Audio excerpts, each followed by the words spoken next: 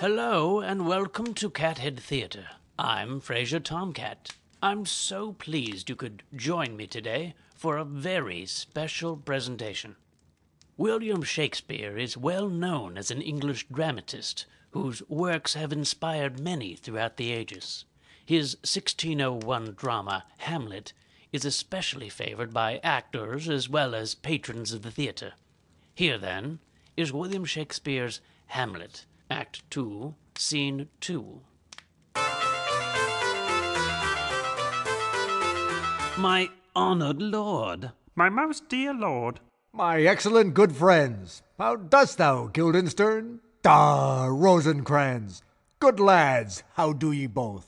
as the indifferent children of the earth, happy in that we are not over happy. On fortune's cap we are not the very button. Nor the soles of her shoe?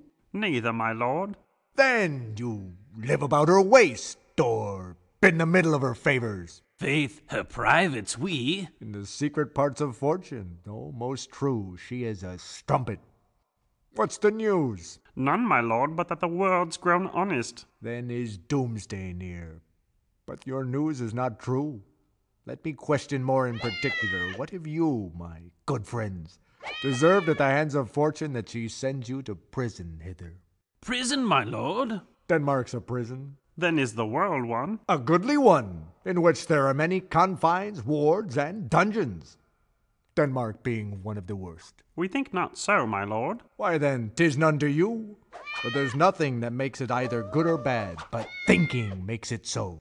To me, it's a prison. Why, then your ambition makes it one. Tis too narrow for your mind. Oh God, I could be bounded in a nutshell and count myself a king of infinite space. Were it not that I have bad dreams. Which dreams indeed are ambition, for the very substance of the ambitious is merely the shadow of a dream. Though a dream itself is but a shadow. Truly, and I hold ambition of so airy and light a quality that it is but a shadow's shadow. Then are our beggars bodies. Then are monarchs and outstretched heroes the beggars' shadows.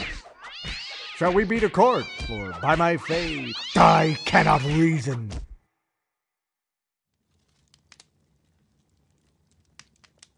We hope you've enjoyed William Shakespeare's Hamlet. Join us again next time for another afternoon of Cathead Theatre.